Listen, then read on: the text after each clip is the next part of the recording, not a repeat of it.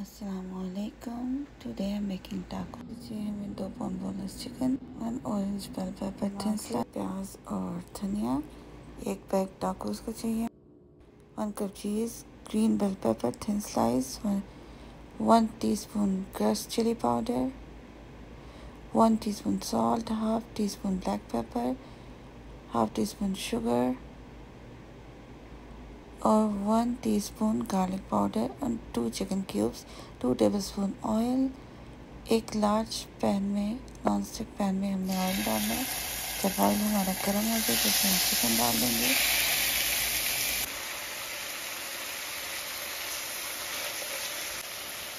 Chicken को हमें इतनी देर तक पकाना है कि इसका कलर चेंज हो जाए।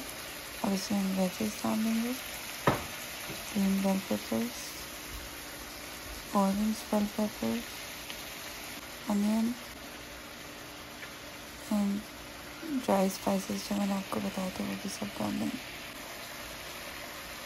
इसको हमने हाई से पकाना है ताकि वेजिस अपना पानी में छोड़े बाकी की वेजिस भी हम डाल देंगे। अब हमारा चिकन पचीटा तैयार है। अब अब हम टाकोस की असेंबलिंग करेंगे। एक टाको शल ली है उसमें मैंने थोड़ी सी चीज़ डाली है। अब चिकन फजीटा डाल रही हूँ मैं। अब अब इसमें सैलड डाल दूँगी। Fresh onion tomato and cilantro जो हमने बारीक बारीक काट के रखा था। अब इसमें मैंने वो डाल दिए।